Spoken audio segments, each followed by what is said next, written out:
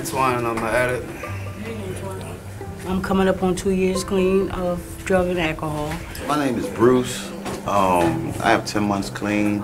I want to get involved in anything they have to offer here, everything. Thanks Thank for being here. The Porch Light Initiative is an innovative collaboration between the city's behavioral health system and the city's mural arts program.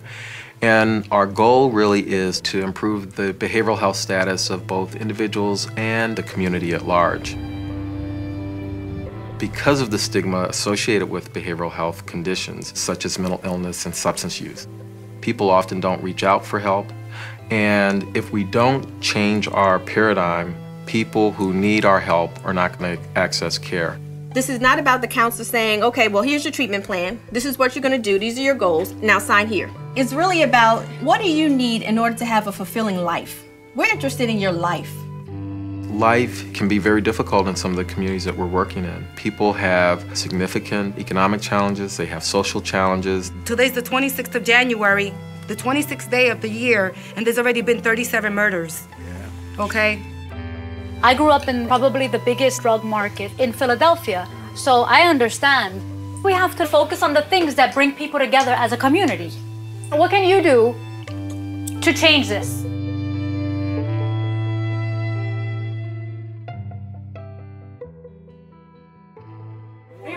The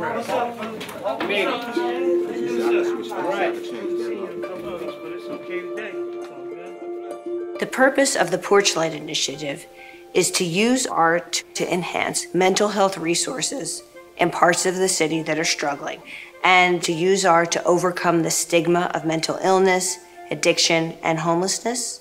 And really, the beauty of this work, it's really about partnership and collaboration.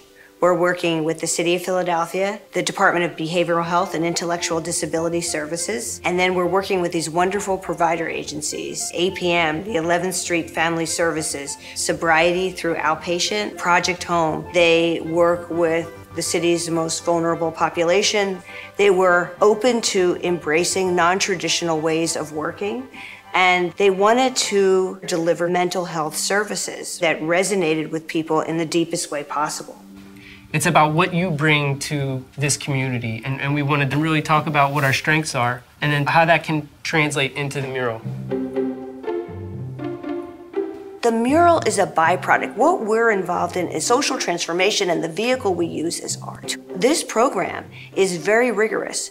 There are workshops over long periods of time. The artists work carefully and deliberately with participants. We started creating these lists of things that we feel make a community strong. The ingredients for the soup, I guess, that, that is the design. There's a layered feel to this that I like. You guys, I don't know if you're uh, ready for this, but we're, we're painting today. All right, you get your paint. Yeah. yeah. It's humongous. And that's just part of his sleeve. I'm gonna go with R, R7. The process that people go through when they are addressing their own personal recovery, it is a transformative process. And in a similar way, art is a transformative process. Down there, back there. Okay. I'm gonna see this on the wall. I feel great because I know I contributed to it.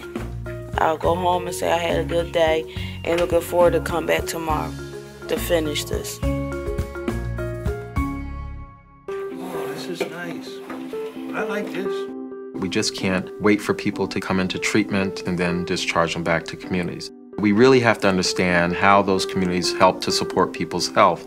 Mural arts really demystifies mental illness and addiction. And our design, our evaluation design tries to capture that. What we've come to find is that the people who participate do feel a sense of hopefulness about the future, a reduced sense of stigma. They also report a sense of connectedness to their community that they didn't prior to that.